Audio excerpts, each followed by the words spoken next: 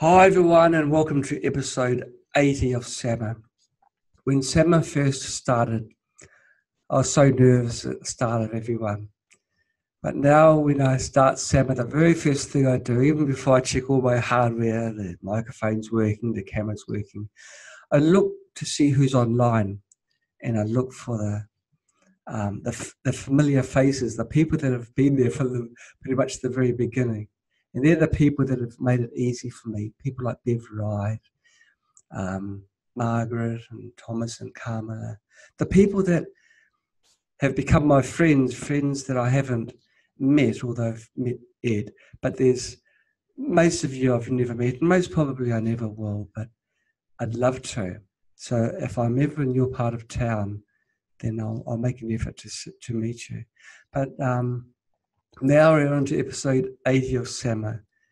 And I've left my nerves far behind. And now I actually look forward to talking to you guys and interviewing the expert that we have on the show for the week. Well, this week's a week where we don't have an expert, so I can stop watching this video right now. But we've got me instead, and I'm going to talk about this little thing. It's Spooky Scalar Digitizer. It's a device that turns your scalar device into a biofeedback device as well. So when you bought your scalar, you didn't realize you'd ever see this sort of capability, did you? But that's life, you know. Life is a funny way of giving good surprises, and this is a good surprise. Scalar digitizer. With this unit, you can plug it into your spooky scalar and you can indirectly monitor the scalar field between your two units. And they can monitor the changes in the scalar field. If you apply a varying frequency, a frequency sweep to the modulation input of your spooky scalar, you can measure the response of that. And then you can use those frequencies for treatment.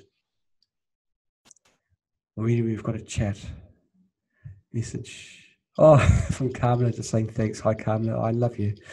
Yeah, we've got to meet sometime. We've got to find some time to go to Australia. We've been to um, the UK, Ireland.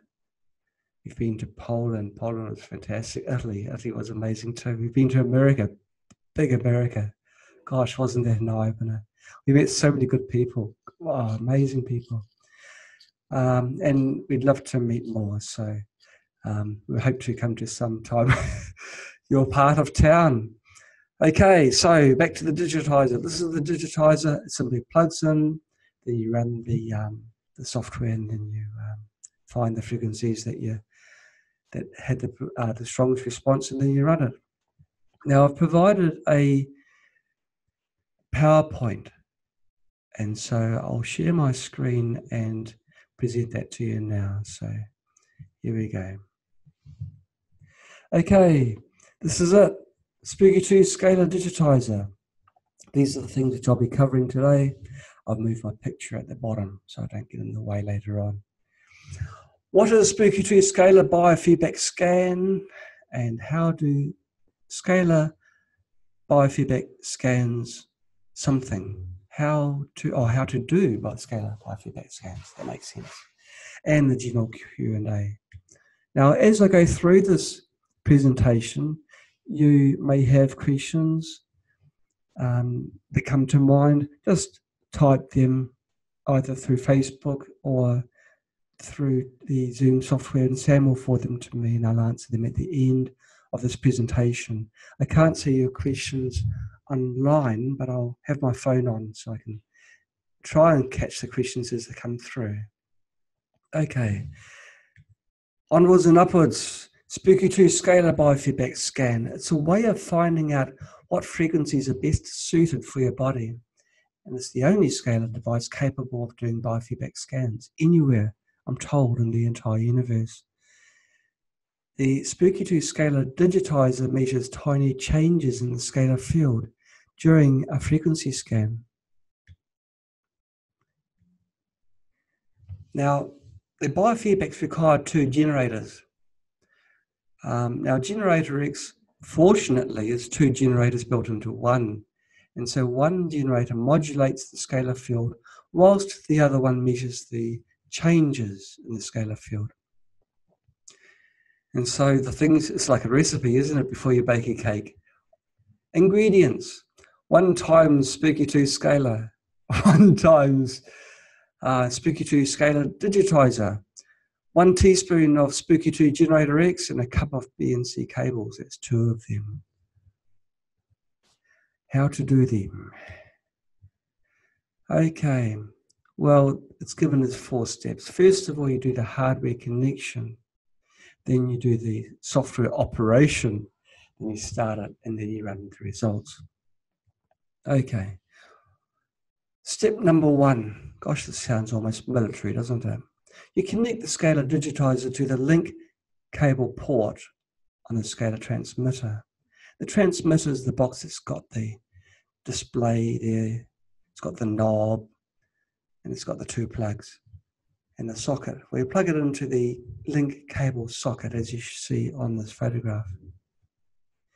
You then connect generator number one output number one to the BNC port of the scalar digitizer. That's the port just over there. On the digitizer, is that, is that one there? That's called a BNC port. You then connect generator number two, output number one again, to the BNC port of the Spooky 2 scalar transmitter that's the metal connector that's built into the transmitter unit. You then connect generator number one, output one. Oh, I've done that. I did that in the first step. You do it twice then. well, miss out the first line. You turn on and tune your Spooky 2 scalar. Now, this PowerPoint must be done in a hurry. Okay, the tip your generator X must not be in the scalar field because the case, which is metal, and the electronics in generator X will distort the field. You've got to keep anything that's metallic or anything at least a meter away from the uh, two units. You can see there the units are far apart. Now in the demonstration today, I've got everything in the scalar field. I'm talking about everything, even this thing here. So the results are going to be rather wild, but we'll just um, keep that in mind, okay? If we did have this unit set up correctly, you wouldn't be able to see it on the video. You then launch the Spooky 2 software. Now it's important to make a note of which generator is connected to which port number. The port number are the box numbers that come up in your software. Here you can see generator number one is port 14 and generator number two is port 15. It's shown on the generator display. You select the preset for the slave. You set up the slave first. And then you set up the shadowing to follow the output number one. Output number one is port number 14. And so you enter number 14 in the output shadowing tab. I'll be doing this again in the demonstration, so don't worry too much about that. If you didn't get that first time, we'll get it the second time. You then go to the control tab, you click on allow or overwrite generator and choose generator number two. Now when you do that, you actually load the contents into the generator number two memory location. So then you can forget about generator number two. And we start focusing on the master, which is generator number one. So you choose the master preset and you again click on overwrite generator and click on the generator number one, which is number 14. Well, that's all the hard work done. All you've got to do is start the unit. You lie between the two scalar units and you ask an assistant to click the scan button to start the biofeedback scan. Now, if you're just by your lonesome, you can alter the value of the start delay, this, this value over here. And so the start delay, you can make that whatever you like. So if you're a slow mover, you can make it 2000. And it gives you enough time to go between the units, sit down, make yourself comfortable, drink a cup of coffee. Well, probably not that much time, but at least give you enough time to settle down and get ready for the biofeedback scan. Spooky will, will give a little gentle beep after the scan is completed, so you don't have to spend all night there. Now, generator number two, which is the slave generator, will start automatically. And so generator number two sends the frequencies to the scalar unit. Generator number one thinks it is, but it's not because it's actually been set to not produce any signal output. So generator number one will still measure the signal that's being, being produced by the scalar field and so perform the biofeedback that way. Now, when the scan completes, you'll see the results presented in a new window, and then you save the frequency results by clicking on the Save button. That's no different from before. You then use the Scalar to Scalar General preset to run these results. Okay, there's a few more tips, everybody. It's best to lie perfectly still, but this really applies to all biofeedbacks. The more stationary you can be, the better the results. And it is best to have only one person in the scalar field. Now, the field extends outward like an American football or a Zeppelin. And so you've got to ensure that nothing is in the field that's going to affect the results. Things like cell phones, electronics of any sort. My laptop is in the field, but well, anything. It's best to be as have as good a signal or a pure signal as possible. Okay, and I've already mentioned it's important to make a note which port numbers correspond to G1 and G2. You can write that down on a piece of paper if you wish. And the master preset performs the recording, the slave does all the work. The slave actually applies the frequencies. Now we suggest using generator number one for the master and generator number two for the slave. You can do short, uh, short scans once a day, longer scans once a week. And uh, when you do run the results, it's uh, you use generator number two to run the scan results because remember generator number two is actually applying those frequencies. There is a facility within Spooky to scan and run, then scan and run, scan and run. And when you do the run, you select number two. Generator number two is the generator to run the frequencies that were found, not generator number one. This is the Q&A that a lot of people have asked in the past. So we've got them all together to present them to you now. There wasn't a photo of me as a child. The child hasn't got my eyebrows. I've always had my eyebrows. And in answer to all these questions that I get sent, no, they're not painted on, they're real. What exactly do you do after running a scalar biofeedback scan? Well, after you complete a scan, you can uh, you will be presented with a list of frequencies. You then save the frequencies in a custom program. And you can run these through your scalar unit using a scalar preset.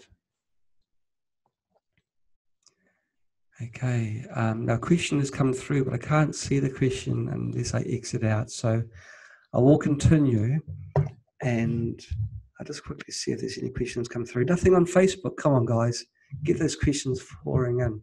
Okay, now you basically run the frequencies and then you load them in a scalar preset and run them. There's a link here to help give, you know, to present more information. So just, um, you can't click on this link because it's a video, but just uh, go to this link and you'll get more information from this Okay, what method do you suggest for actually running the frequencies found in the scalar biofeedback?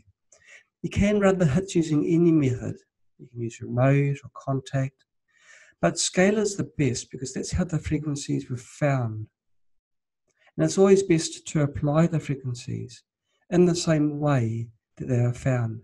If you do a biofeedback using contact mode and spooky pulse, it's best to apply those frequencies also using contact mode.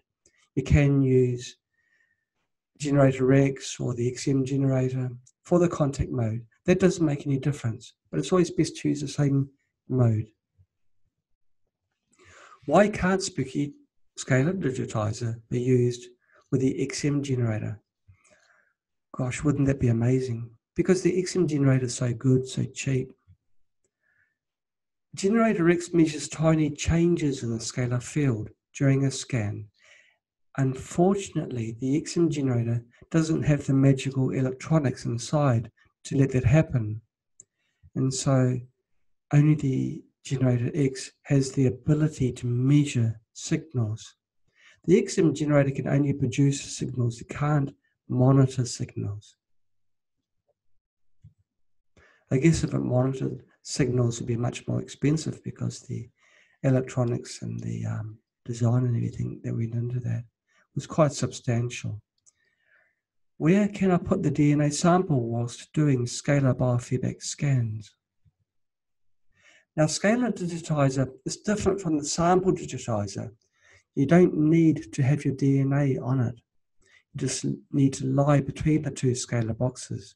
And there's another link that gives more information on that. You said before that biofeedbacks cannot be performed whilst in the scalar field. Doesn't this contradict your scalar digitizer biofeedback scan? Now, the digitizer measures tiny changes to the scalar field during these scans, and other methods of biofeedback will be affected by that scan.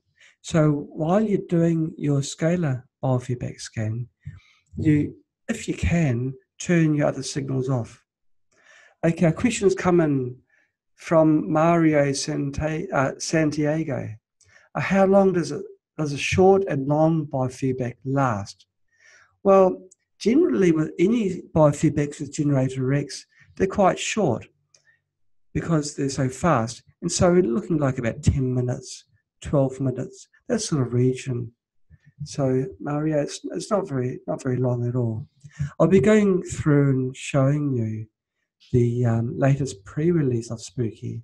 We'll have a bit of a play with it, and we can see the estimated times that come up. With, of course, Spooky Pulse, you're sitting down for hours and that's not much fun. But um, Generator X changed the rules a little bit. Why is it important to have Generator X outside the scalar field whilst doing a biofeedback? Will the Generator X interfere with the field while not using the scalar digitizer? Well, Mm, haven't I answered this one? Did I go up again? Or anything that's metal or biological in the scalar field will alter it. Now, if it's something that's always stationary, it won't have too much of an effect unless it's metal, which tends to absorb a lot of the information. So, if you've got if you are sitting on a chair that's got some metal in it, that may not be a problem because A, the metal mass is not very large, B, the chair is not moving, I hope it's not moving, and so it won't vary for the course of the biofeedback. But if it's something that may move, may change during the biofeedback, then you want to not have that there. So um, I think that answers that one. I wonder why that question came through twice. Is really? What? It's the third time. Okay. Well, we'll go. We'll go with it, guys. So I'm going to answer the same question three times. Um, and of course, the biofeedback is very accurate and sensitive, and any kind of disturbance will affect the results. And so, Generator X will measure this disturbance. And if the disturbance isn't from the cells in your body, then it's regarded as bad information. And so this is why we try and keep everything away from the field. Okay, we finally got through that question we're on to another one. Now, why does the receiver light go off when using the scalar digitizer.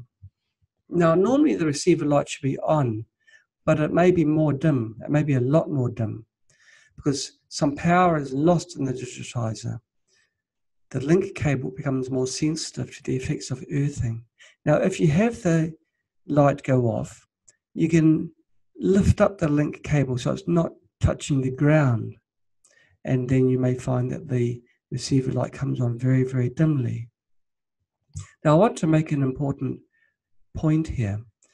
The receiver light is not measuring the scalar field directly, it's indirectly. What it's measuring is an electrical current that's induced in the secondary of a transformer, which in turn um, reflects the signal that's going through the scalar field. And so it's not the pure scalar field. The scalar field at this point in time, um, we do not know a way of directly measuring. And so we've got to measure it indirectly. Now, when you have a current passing through a coil and the coil gets a load on it, say that the generator X inside the scalar field is a load, or the sample digitizer is a load, more current will flow through the coil, but the magnetic field will be reduced because the receiver light relies on the magnetic field, the light will become reduced. Even though the field itself has got more current passing through it, it's showing up as being reduced because of the way it's indirectly being measured. So just because the receiver light is being uh, is less bright, it doesn't mean that the scalar field is not so strong. And in fact, I've tuned our units where the scalar field, the, the receiver LED is off completely. And that is because the voltage is less than the light voltage, the LED voltage that's on the receiver unit. The signal is being sunk, is being is being drawn to what is in the field. But that thing that was in the field was the digitizer that was doing the biofeedback scan. So you don't need the light to be on to give the optimum tuning point. So um, I just thought I'd make that point. Okay, uh, Jamil Baraka asked a question. Um, okay, it's the first time he's used the scalar digitizer, and he's noticed that the frequency range, now this is in the preset, is 100 hertz to 50 kilohertz. Is there any reason why the range is only up to 50 kilohertz? Well, that is actually the optimum range for the scalar modulation. You can modulate up to 5 megahertz if you wish, but the scalar field becomes distorted. It's distorted because more of the scalar field is information rather than field itself. The scalar field transports information, but if there's more information passing through, then there's less scalar field, if you like. Until the end, I guess we end up with with this a modulation signal and no scalar field. And so we've opted for 50 kilohertz, which gets a huge swath of results in the biofeedback. And another question from Jamil How do we know if the generator is correctly connected or functioning? Well, if you've got concerns about whether the modulation is working, you can select a slow frequency within the Spooky database and run that. The coil tester will flash if you place it on the transmitter coil. And in that way, you can see that the transmitter is modulating. I heard my phone beep a couple of times. There's a couple of questions have come through. If you put a vitamin or mineral in the field, is it equivalent to giving yourself the vitamin? Oops, I've got a um, vitamin or giving yourself the metabolic response to the vitamin? It's a very good question. This was from Jory uh, Pom, uh, Pomerantz. Um, fantastic question, Jory. Um, it's best to put the substance on the receiver coil. Now, the scalar research is still in its infancy, and so we don't know all the answers for sure. But this is what we are fairly sure on to date. The best way to put information into the scalar field is through putting a substance on the receiver coil that then modulates the scalar field in that way. If you have the vitamin in the scalar field with you, we haven't seen the evidence showing that the goodness of that substance is then transferred to yourself. And so um, that's partly answering your question. And you're asking, is it equivalent to giving yourself the vitamin or giving yourself the metabolic response to the vitamin? Well, it's both the same thing. It's um, the. This is the thing that we touched on early on. We were modulating in the beginning and with tests that we did uh, using frequencies, and then we tried molecular modulation, and we found that it's better to put the molecule um, on the coil than to modulate through frequency, because when you've got a substance, you may know it's molecular weight, but there's more to it than that. Um, the molecular weight provides a frequency, but the substance provides the song, the song of the substance. And the song of the substance then um, passes through your body. We, uh, after you've gone, uh, after you've applied a scalar field with a vitamin on the trans uh, on the receiver unit, um, your body has received all the benefits from the vitamin. After leaving the field, we do not know whether the, the effects of the vitamin still remain in your body. I believe it does. Um, with other clinics that have used our device and other scalar devices because there are other units out there as well. You just got to pay a little bit more for them. Um, you, people go in for half hour treatments and then for the rest of the day or until the next day, they receive the benefits of that treatment. And so it could well be that the um, the effects of the compound remain in your body. When Spooky Scalar was first released, actually before it was released, we got a, a mayday call from some people that needed it for emergency. And one was a woman that had very, very serious cancer, and Scalar dealt that cancer a mortal blow. Uh, this woman used her chemotherapy on the receiver coil and got fantastic results this way. So, but she didn't remain in the field all the time. And so it could well be that she was getting the effects of this chemotherapy drug during the rest of the day. Okay, uh, a question from Lawrence Lee. How far should the Generator X be away? Well, when we ship the BNC cables with the scalar units, we actually ship our long cables with the units because we want the unit as far away as possible. So I like to think two meters, which is, I think, the length of the cables. It might even be a little bit longer, but we say two meters away from the field and the units. Now, the field does extend outwards, so try and get it away from both units, which is very different to how I'm going to show you in a short while in this demonstration. Okay, back to the Q&A. Does it matter with temperature changes like extreme cold? Oh, poor Ellen, extreme cold. Yeah, I'd love to live in the tropics, especially right at the moment. Okay, I'm thinking of having the cable outside for some of the distance. Now, temperature doesn't matter, but it's temperature changes that does. Uh, with a change in temperature, you may have a change in the tuning frequency. And so if the temperature does change, just check the tuning, make sure that it's still tuned correctly. That question from Dave Rowan. What are the differences between Rife Generator X machines and Scalar for beginners? well, there's lots of differences, but the biggest one I would say is that Spooky Scalar produces a different type of field. Now, it's the only type of field that's truly healing. It's a naturally healing field, and it's got other properties which are very important as well. It can carry information, which makes it an ideal method of treatment. And this information can be from a healing herb, essential oil, or even drugs. And so you're using a healing field to produce the biofeedback scan. And so it's the only unit that we know that can do this. Um, also, it's very precise. The signal is more stable.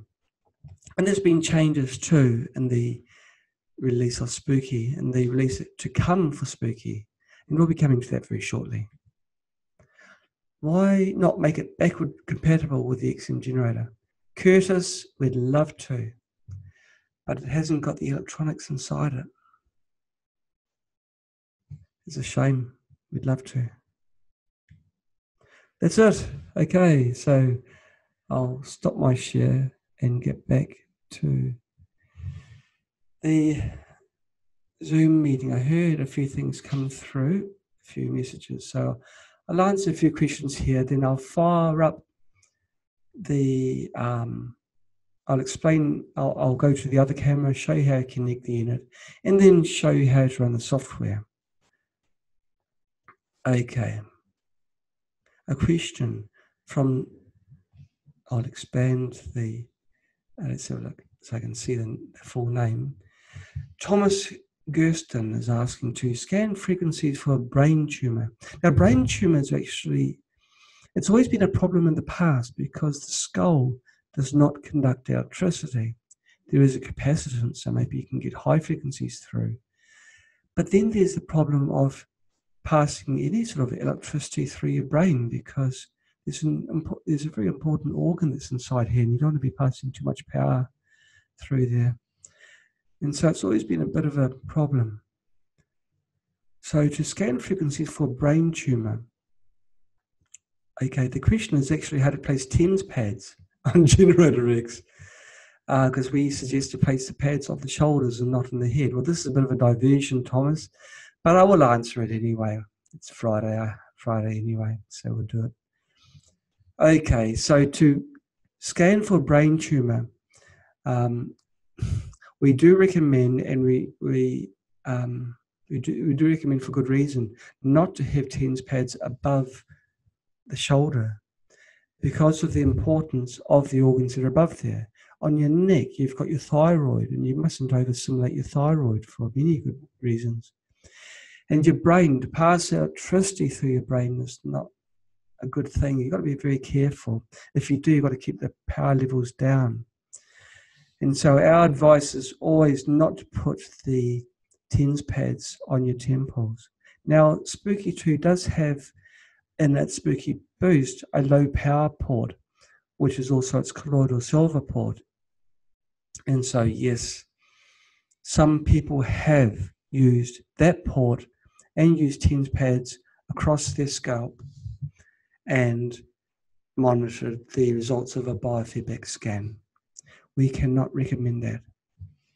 The alternative, of course, Thomas, is to use a spooky scalar and scan yourself through that because, of course, a scalar field is a healing, natural field. It will not cause any harm. Okay, another question from you, Thomas. If you do a longer scan on the weekend, how do you combine or use the results with the daily shorter scans? How do you combine or use results with the daily shorter scans? Well, you create programs and you run the programs and set up the program using the dwells that you want to make it longer.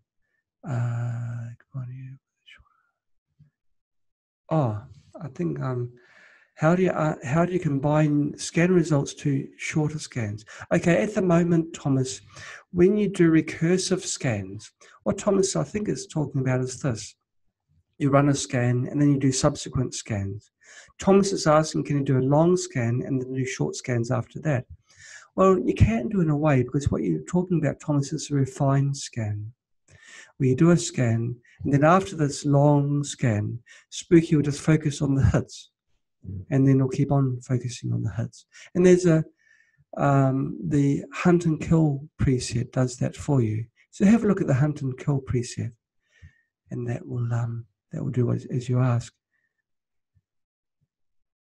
Okay, now Kamala Walker has given a very interesting comment. Now, um, if you use a natural herb, yes, now Carm, actually, I'm missing. Oh, okay. Uh, Carmen is saying that if you use a vitamin pill, you may not get much effect. I think this is what you're saying, Carmen, when you're using it with scalar, because it's mostly filler. But if you use the natural herb or substance, most likely you'll see great benefit. That could be true, Karma. In tablets, when you buy these $15 tablets, well, most of them is just calcium carbonate, chalk. And so it's mostly, that's where your money's going to. Um, but of course, natural herbs, you're getting everything that the herb has in it. Another thing, Kamala, is when people use, well, in particular, I guess, drugs, they mix copies of their own DNA. They've used their urine, they use their blood. The cancer patient I was, talk, person I was talking about before, they use their blood, and this is when the uh, the cancer numbers took a nosedive. Um, they mixed their blood with this substance and then put the whole mixture onto the receiver coil, and that gave the best results for them anyway. Scalar's all new. The results are still pouring in from our users, but everything's all looking very, very positive and very exciting. Okay, so I heard my phone beep. I'll just make sure I've done everything on my phone and then I'll share my screen again and go on to this order. I'll show you my hardware setup and show you how bad it is. Okay, now um, uh, Mario Santiago is asking another question.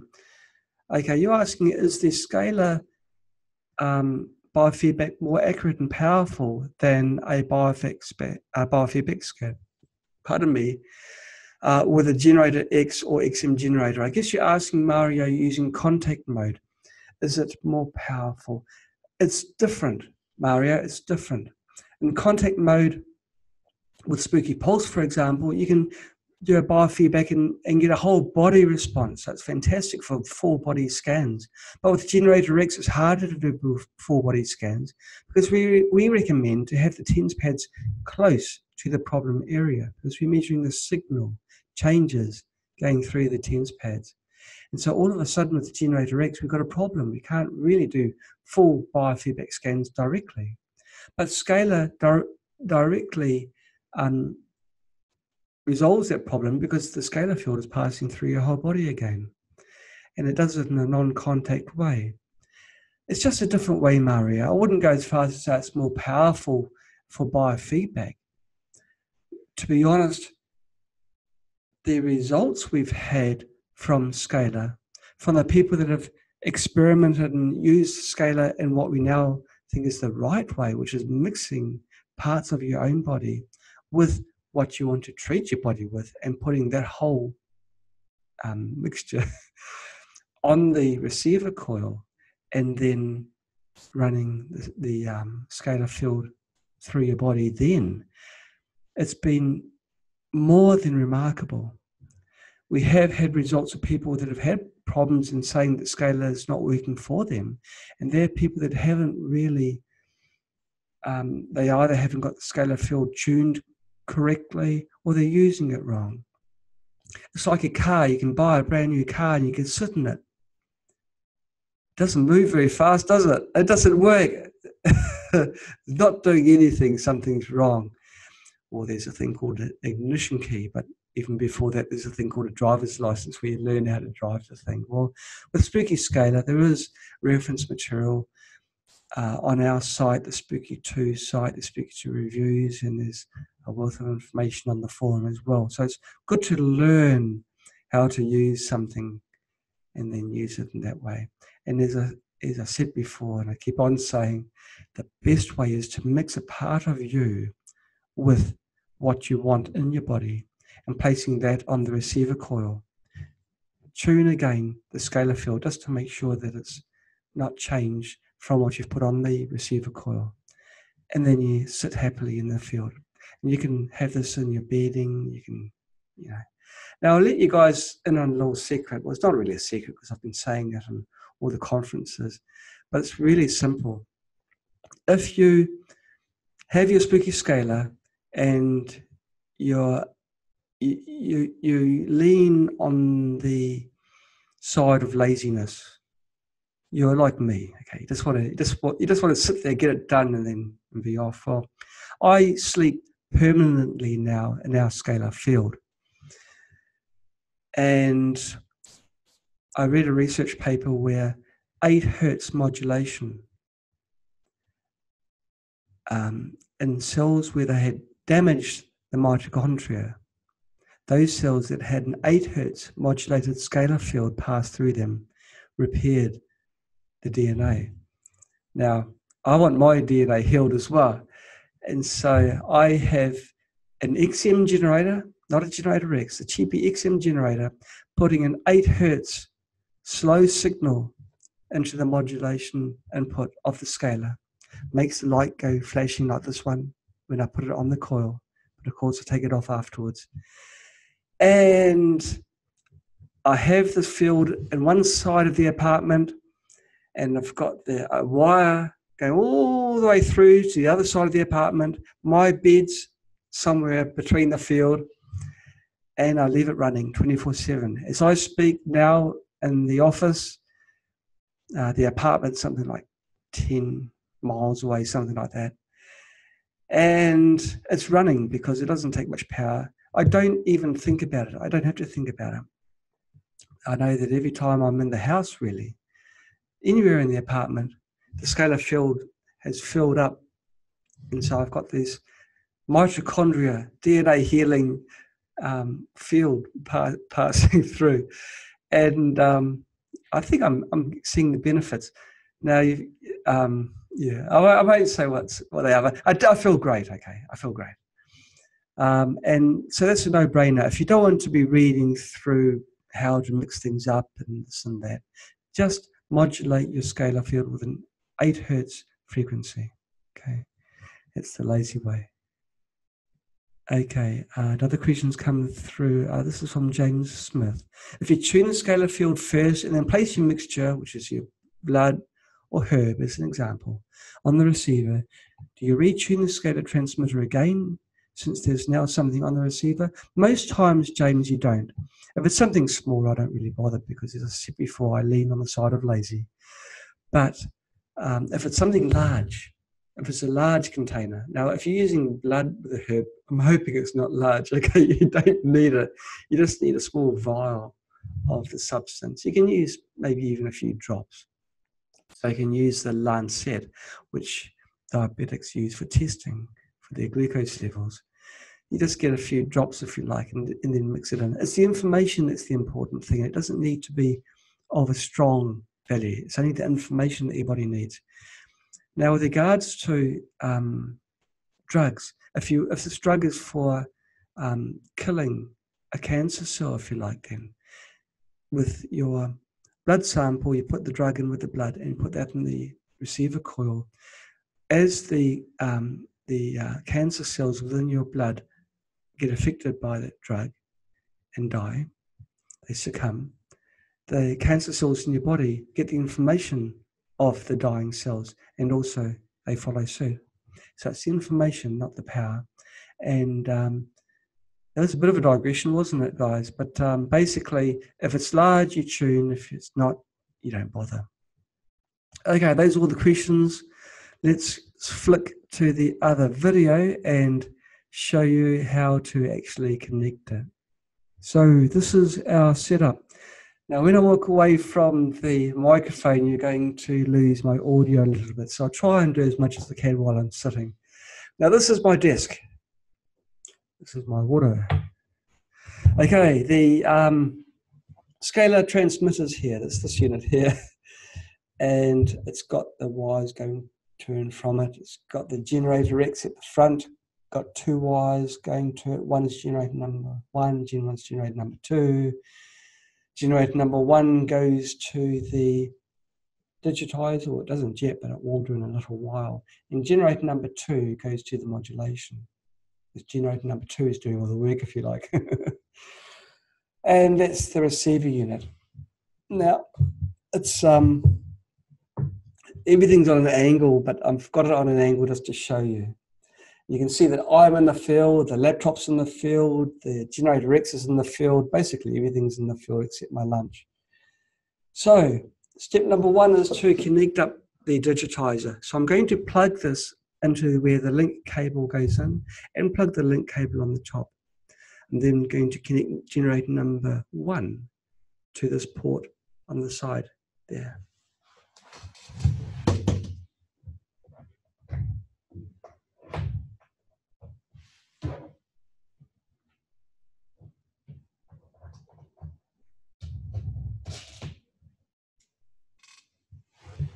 Okay, they're done. Now we just do a retune to make sure everything's okay. The tuning does change a little bit generally, we find, with the digitizer there because the link cable does become more sensitive to any sort of earthing capacitance coupling that it finds. And because I've got mine, even my earth cables on the ground and caught up and the ground's got its reinforcing because it's a concrete floor, it's going to be pretty difficult, but I'll, I'll try and get some sort of signal.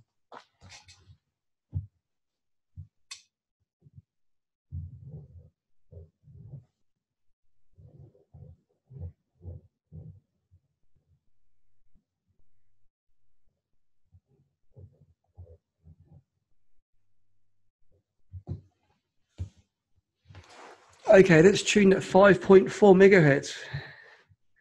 Okay, now I'm going to go to sharing screen and I'm going to show you the software side. Okay, now I will move myself up here so that you can see most of the controls. It all happens down here. Now this is a pre-release of Spooky, it's December the 6th. So there will be some controls that may not be on your version of Spooky. The controls I've added are to improve the results of biofeedback scans and other things as well. Now, already I saw on the front of the generator that generator number one was this unit here, uh, this number here, 21, and generator number two was 25 the first thing you do is you set up generator number two, the slave. So in the presets tab, you go to biofeedback, you go to scalar digitizer, and you go to the slave preset.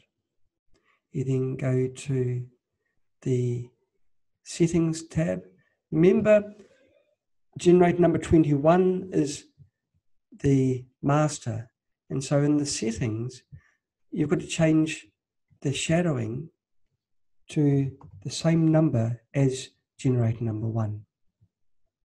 Having done that, you go to the control tab, overwrite generator, and you click on generator number two. That sets up the slave. You return to the presets and go on to the master. Master is nice and simple. You don't have to do anything. Now overwrite and you click on the master pre master generator. Okay, have you got so far? All you need to do now is click on the scan button. So we'll click on scan and see what happens. The waveforms load for the both of those generators because both generator number one and two are running. And you see generator number one has gone purple, generator number two has gone green because it's running, it's applying the frequencies. And now you can see the biofeedback ticking away there. Now, because anything I do in the field is going to produce a, is produce a change so I'll just double check to make I'll just double check to make sure that everything's working. Okay, it's, it's found my hand there and it's gone away there. So it's, it's seeing the effect there. So, yeah, it's got a few signals there. I'll just double check something.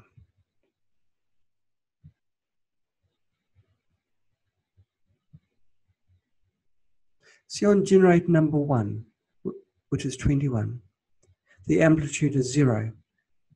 So it's not actually producing any output. It's only number two which is producing the output. Well, it's going to, on this estimation, take 20 minutes.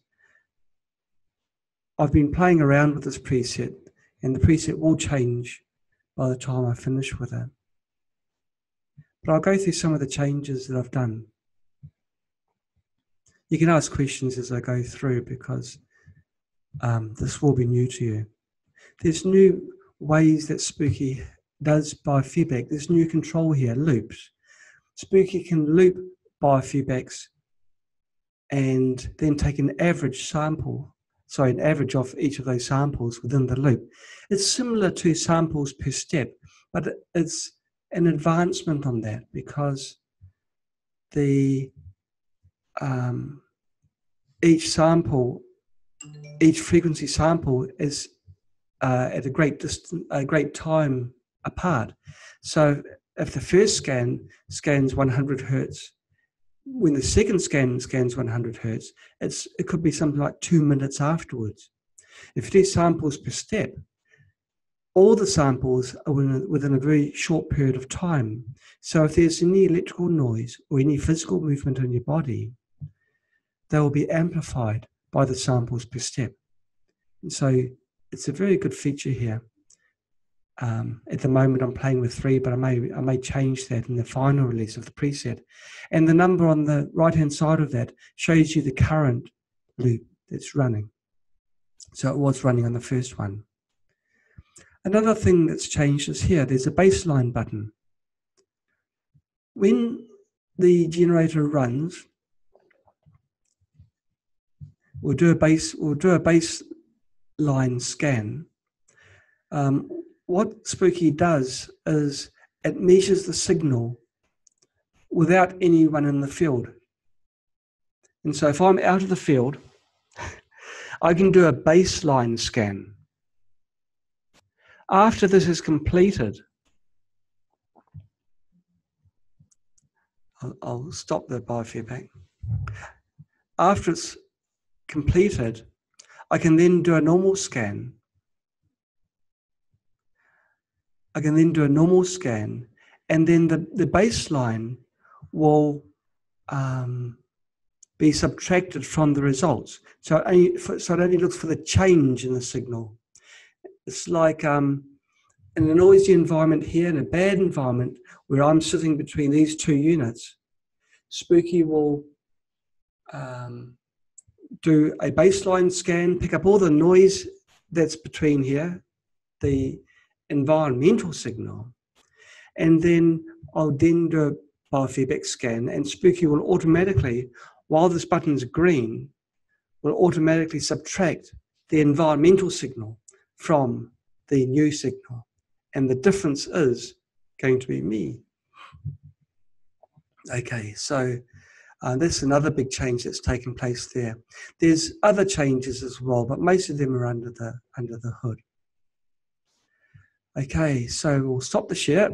We'll go into the correct video, and I'll just make sure there's no other no other questions that have come through. Okay, if you if you heard a few beeps come through.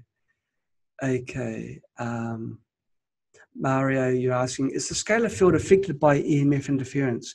The scalar field is not affected by EMF interference. However, the unit that transmits the scalar field and the unit that receives it are both sensitive to EMF, not the scalar field itself. Okay, uh, Jory Pomerantz asks, you cannot do phase angle, right? What is the scan you have selected? uh, well, you can do uh, phase angle. Why not? That's another option in Spooky. What I am doing, Jory, is not measuring this, the phase angle of the scalar field. I'm measuring the phase angle of the signal passing through the link cable, which indirectly then goes to the scalar field. Okay, another one from uh, jo- uh, Jory Pomerantz. Um, they say in the Rife community, Rife community. Um, that low frequencies are metabolic and high frequencies are mortal oscillatory frequencies. I can tune the scalar device to, to scan 0 to 15 kilohertz. So it shows metabolic disturbances instead of kills. Okay, well, if you do um, think that low frequencies are metabolic and high frequencies are mortal oscillatory frequencies, um, in that case, you can do it. There's no restrictions there. Certainly, you can scan from DC all the way up to whatever frequency you like with Spooky Scalar. There's no restrictions there, Jory. So, um, sure, you can go up to 15 kilohertz if you like. There's several lines of thought, Jory. It's not quite as clear cut as that. Um, and the Rife community isn't quite as cohesive as you may imagine. We'd like to think it is, but there's people that are arguing all the time and disagreeing with each other. We try and bring some sort of cohesion to it, but I guess as long as we're human, it's never going to happen. Okay, so any other questions coming through? No questions on the Zoom, no questions on Facebook. Gosh, guys, we're.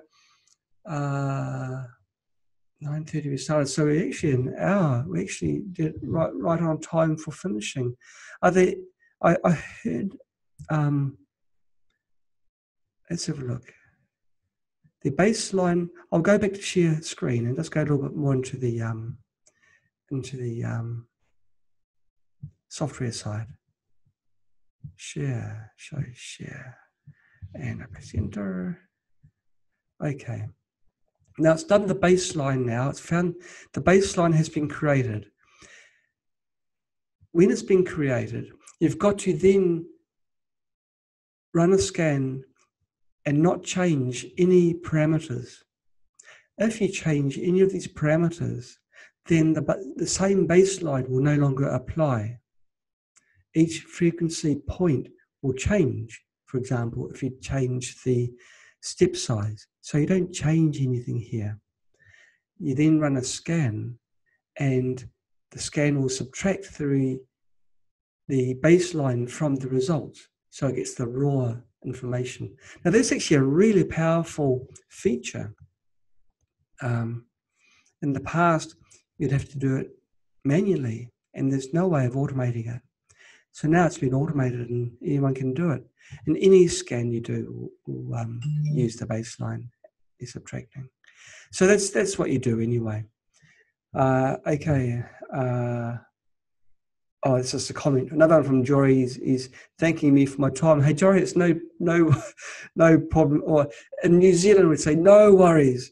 Um, we want the information out there, you know we don't want to have confusion. We know that the system is a little bit complicated, so try and try and make it as usable as possible. Sometimes you just have to, um, you know, learn a few things to make things happen. But it's exciting things. Like, like even now, the fact that we've got something that can scan inside your head is kind of cool, you know. Okay, so um, baseline, the button's green. If I did a biofeedback now, the results will be very small numbers. In the in the demonstration, it was around 360. You can see the scale here. But if I do another scan, it'll be less, and that's because it's subtracting. So um, that's that. What other changes can I show you? Yes, if you do use a oh, okay, I selected the wrong generator. Okay, now go to scan. Now the um, the what if you do use the after scan feature in in a, a scalar biofeedback, you'd run on your slave generator, which in this case is number 25. Um, that's interesting how it said 20 minutes here, but it was quite a bit less. I'll see I'll see you in a little while. This is a pre-release, so um, a bugbear at the moment is the estimated duration, which is in the scan um, box here. I've got to work that one out. It's And there's one other problem I've got to sort as well. So it's still a pre-release; it's not the final release, but there will be some form of baseline there. It may be changed a little bit in, in the presentation, but there will be some way where you can have a baseline and then subtract that from the readings in the scan. Yeah. So other things I can show you in the in the um, oh, and the I've set it to three loops and so it'll loop three times. Oh, that'll be what finished so quickly. Because, of course, when you're doing a baseline, you don't do a loop. You only run a baseline once. So Spooky's smart enough to know this. After it's done the first loop, it stops. And so now we're doing a biofeedback run. It'll take three times as long because it's running the loop three times. Okay. More questions? Hey, I love it. Um, Cheryl Lynn. Oh, an off topic question. different people say different things. Uh, oh, this is about Spooky Remote. Oh, well, it's Friday, so I'll answer it. If I use my DNA in a remote, shouldn't it target my children as well? People are saying it could. It doesn't make, I guess, it, I think it truncated your message, but it, um, maybe you were saying it doesn't make sense okay, Cheryl, this is how it is.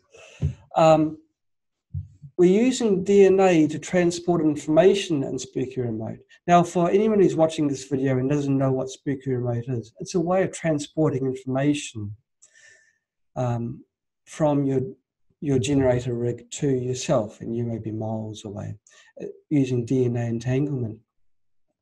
DNA entanglement isn't the absolute most precise term that we could use. A more precise term is molecular entanglement. The DNA came from the same source, was created at the same time. And so your DNA is in the nail. Your child's DNA was created at a different time.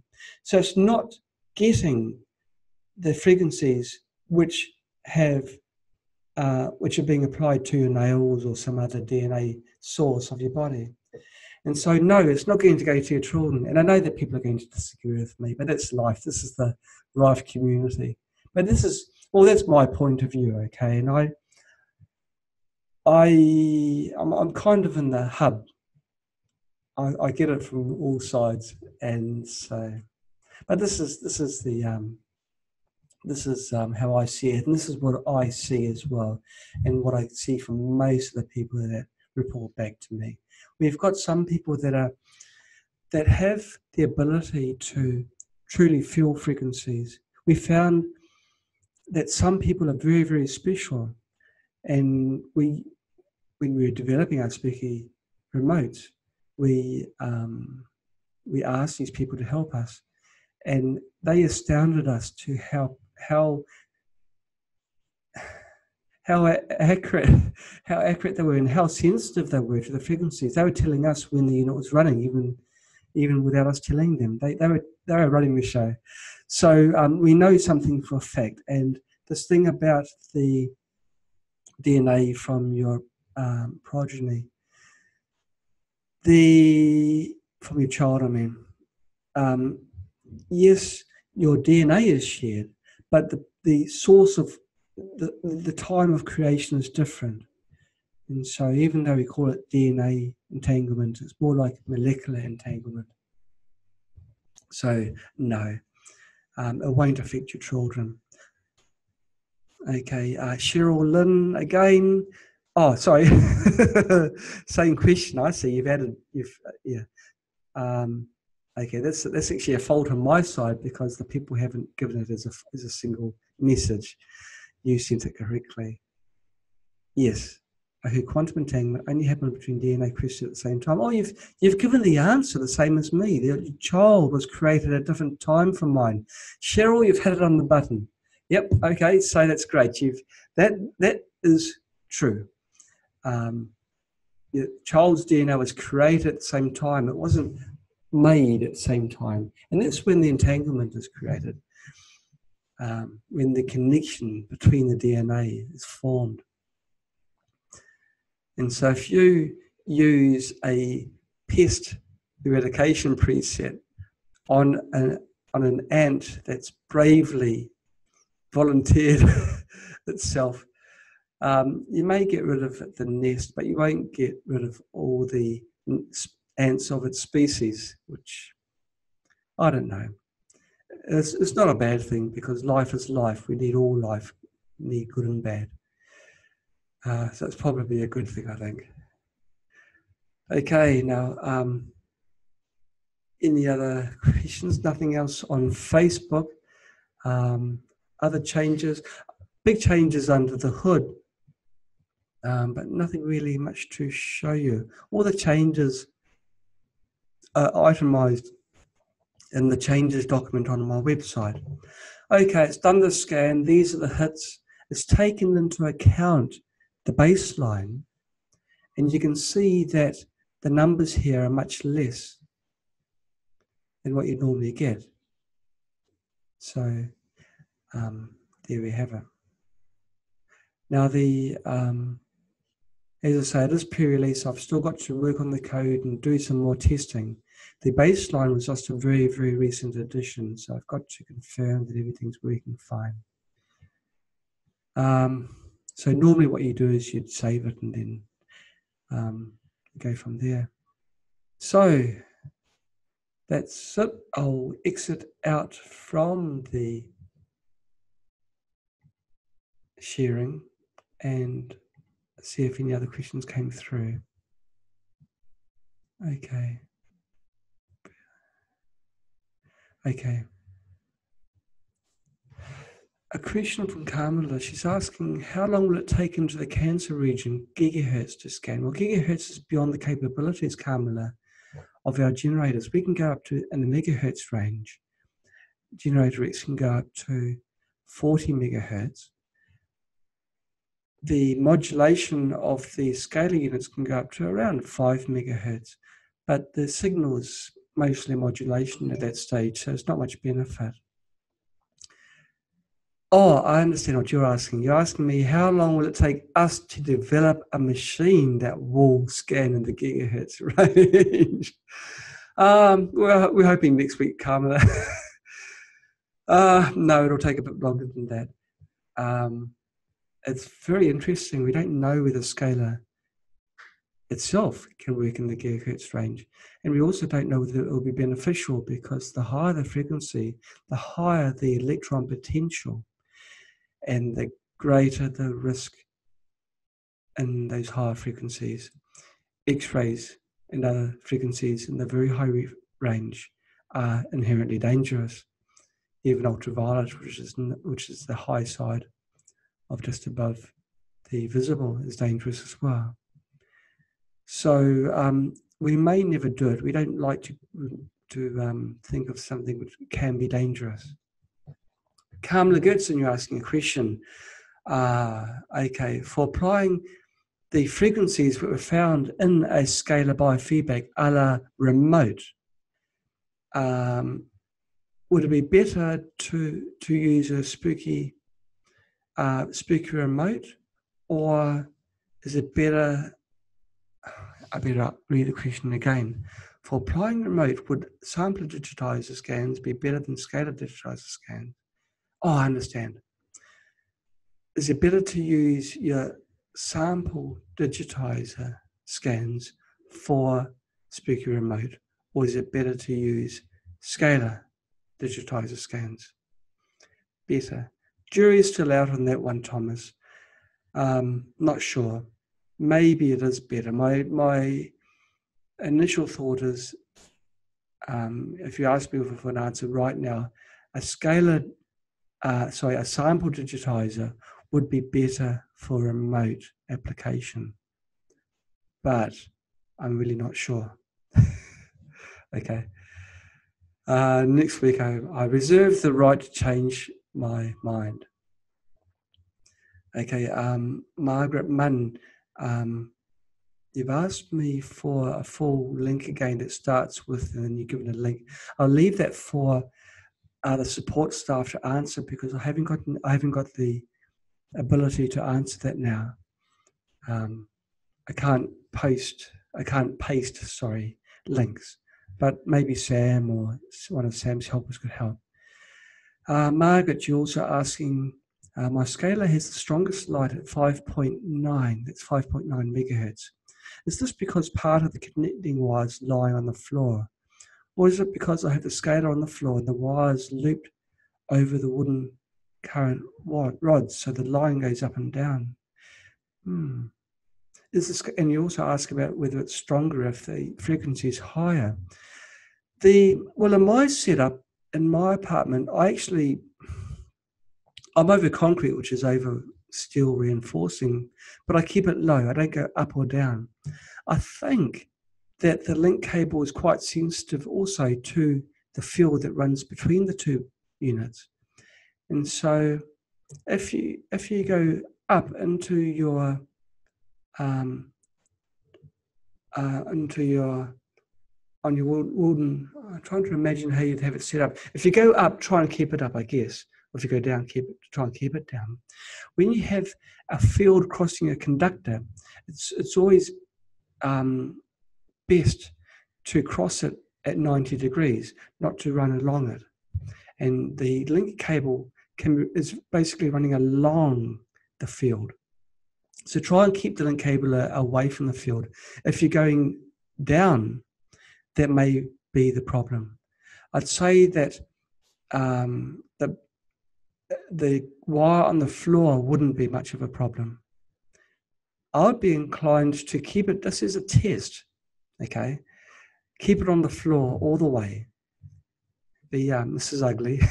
Let's do it, and then if it if it um, tunes higher, then so be it. Now, 4.9 is quite low on the tuning range. We recommend anything, you know, around the five mark, but 4.9 still is acceptable. Is it more strong when it's tuned at 6.5? No. The the higher frequencies doesn't mean it's stronger, Margaret. Um, it just means that that is a frequency that the two units are singing happily to each other the best with the scalar field humming between you two. Okay, uh, you've got a new question. How long will it take to scan in the scale in the cancer region using the megahertz range? Oh, okay. So I answered the wrong the question incorrectly. Okay. Um, how long will it take? Well, I tell you what, um, Carmela, um, you, you play with the parameters in the preset. You load the preset for doing a biofeedback scan using your scalar digitizer, and then you increase the frequency. Uh, at the moment, it's 50 kilohertz. Let's say you go up to um, um, one megahertz. You change it to one megahertz, and then you you tab out from that frequency field. The estimated time will be shown on the bottom of the screen, and so that will give you a direct answer. Um, and as I said just a little bit earlier, it's a little bit of a work in progress because um, the time estimation is a little bit out. But by the time we come to the full release, I'll have that nailed. Okay, well, I think that's me timed up. I'll, I'll just, um, oh, I see. Um, oh, Mario Santiago is asking any new hardware projects in the works? Well, there's always things in the works, and there's one thing, um, well, these things taking my, you know, very interesting, very exciting for me. This one that's very, very exciting. But I can't say a word. Sorry, sorry.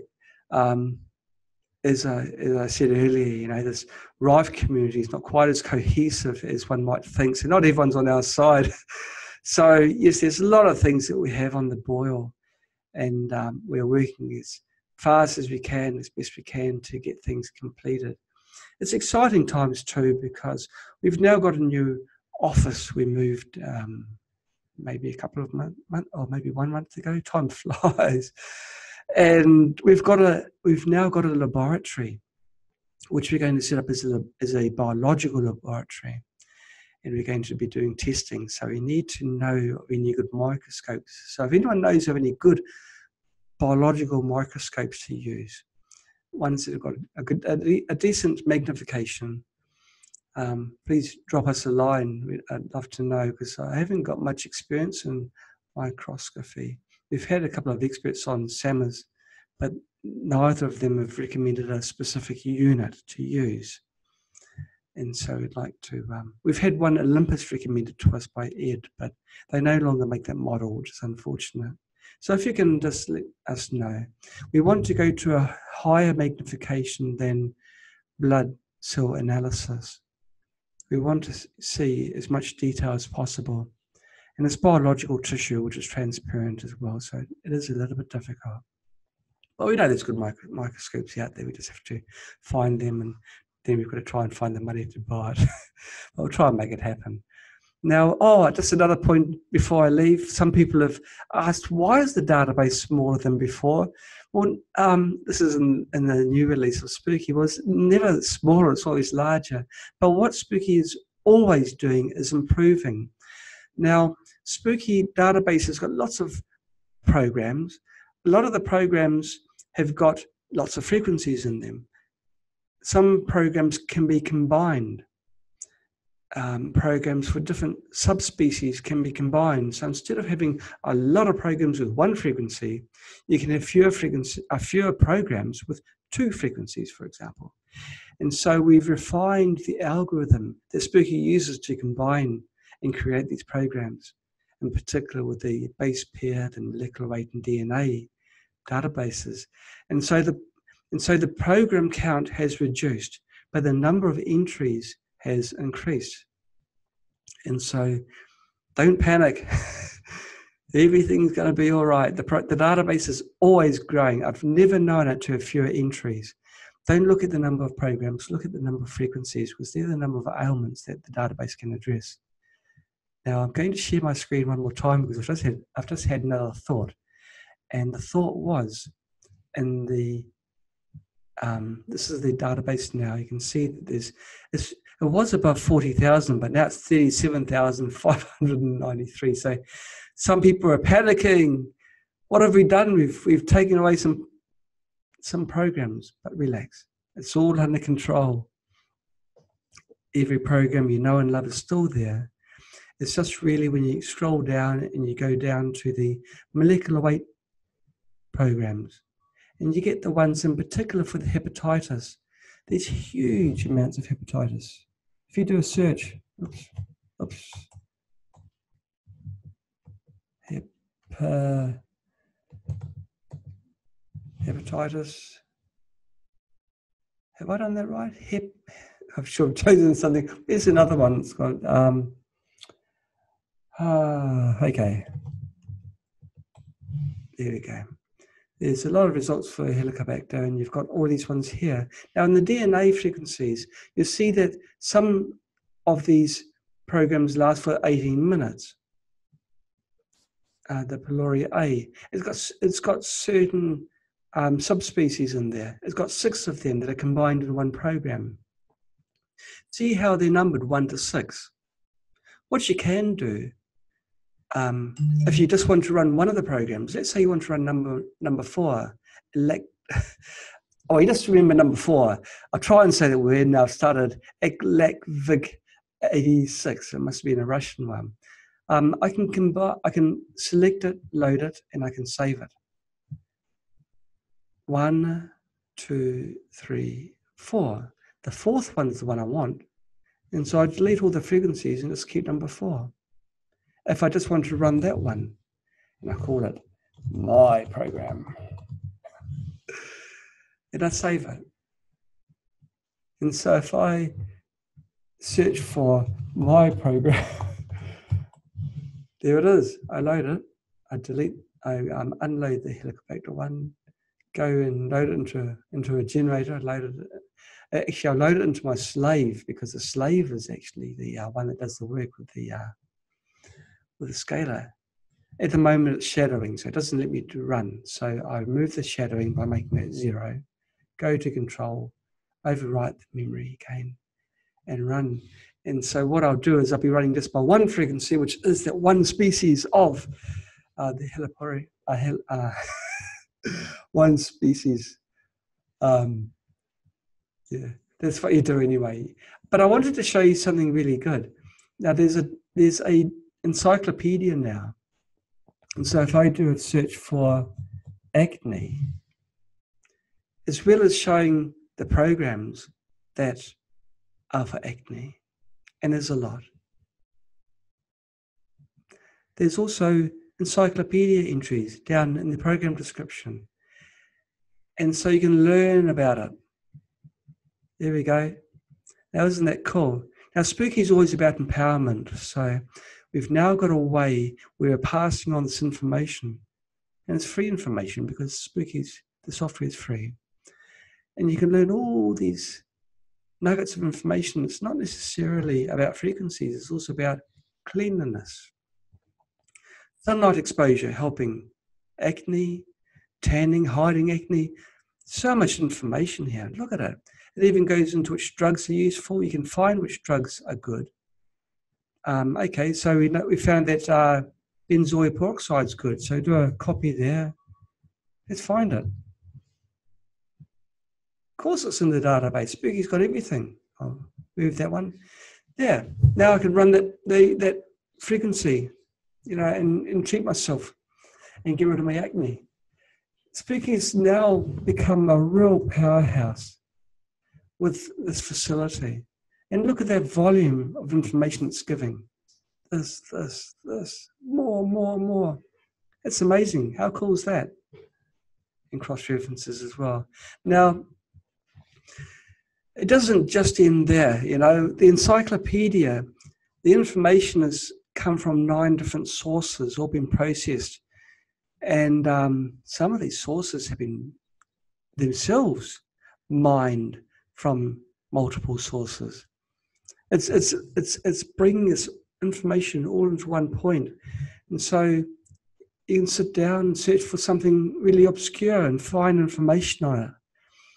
If you do, if you select the program here, then the um, Spooky will give you information only pertaining to that product. It won't do a full search. Okay, if you do a search for for uh, let's have it. I, should have um, prepared this, but we'll do it. If I search for cyst, it'll tell you these encyclopedia entries as well as um, um, results in the database. But there's a new search. And this is a full search in encyclopedia anywhere where the text cyst comes in, not just at the very beginning, like it does in the encyclopedia batches. Spooky will return it. It's as if you don't need more information than this. And so if I do the encyclopedia search, it gives me all the cyst, even things that aren't necessarily pertaining to cyst. We're talking about CT scans here. And how cysts can be detected from uh, through use of a CT scan. Here we go. A CT scan is performed on a pelvic CT. Anywhere where the word cyst appears, it will make it uppercase if you do an, an encyclopedia search. So it's a polycystic kidney disease. The, the text cyst is made capital to make it stand out. So just when you thought that Spooky couldn't get any better, he does. There's currently something over over 9,000 encyclopedia entries within Spooky. So that's pretty cool. So um, that's two really big developments, let alone the uh, the baseline development I showed you with the biofeedback and, and other things that we've done in the back in the under the hood for Spooky. We've now got an encyclopedia. And of course, just before Spooky's release, we always update the databases to the latest versions. Don't always look at the number of programs. If you go to the system, you'll see that the number of entries is usually given in the databases. You can see the encyclopedia's got 9,171 entries. So the entries for each of the databases are shown, and those will grow each time. So, um, yep, Spooky's always going to continue getting better. Oh, there was another question, I heard it. Um, Can I find out the frequency of an item using the scalar coil? Scalar coil. Oh, you're asking Mario, can you find the frequency of a, a product? Oh, I think what Mario is asking, can you put a product on the coil and find the frequency of that product? No, Mario. No, I don't believe you can. Um, however, um, already in the database, and Spooky's got the largest database in the universe, I'm told. Um, it, um, you just search for any anything and, and you'll find more than likely something there. You've got the main database, you've got the DNA database, molecular weight database. Molecular weight generally is all the drugs, but also healthy products as well. Base pair database, which is living things, things that have DNA. And so you've got the um, all these bacteria, microbes. Gosh, so many. This goes on and on. And then the custom set, which is the frequencies which I have created and put in there. So there we have it. SAMA number 80. It was fun, it was smooth. Makes me feel a little bit old. Number 80, gosh, you when we were running there, I think, gosh, you know, um, I'm never going to get up to 50. And when 50 came, I was really excited, but now we're up to 80. Um, yeah, soon we're up to 100. Okay, well, I don't know who's going to be on next week, but um, stay tuned. We'll let you know as soon as we know. Um, and um, yeah, watch the space for new information. You know, Spooky's got lots of sub, of websites. We have the spooky2reviews.com. We've got websites dedicated to Scalar if you want to find out more, spooky2scalar.com. Another website's linked from there. We're always trying to give as much information as possible out. It's all very well being able to make products, but you've got to know how to use them and get also information of how other people have used them successfully. So, you know, the Rife community is learning all the time. We'd like to think that now we're at the forefront, but quite often we talk wrong. Sometimes an expert comes along and really blows us out of the water. But then we take it on board and we, we spread it out to everyone else. So it's all good. I mean, the SAMA program itself is all about teaching people new things. And today we learned about scalar digitizer, using a scalar field for biofeedbacks. A world first, only, only here at Spooky. Watch your space because there are exciting new things coming, things I can't talk about, but things that are, are really, really going to change the way that we think of treatment. Think big, and that's our next project. Take care, everybody. Catch you all next week. And don't forget, please, Wednesdays, coffee time. When Echo Lee sits down, tells you about the latest, what we're up to, and talks to you about things of interest, things of health matters, things that are more interesting about the things that I talk about anyway, which isn't hard to say. But it's lovely to see my regulars back online and all the questions coming through here, online, and also on Facebook. Take care, everybody. We've got your best interests at heart. Trying our best to make sure that we've got the best products for you. Till next time, bye bye.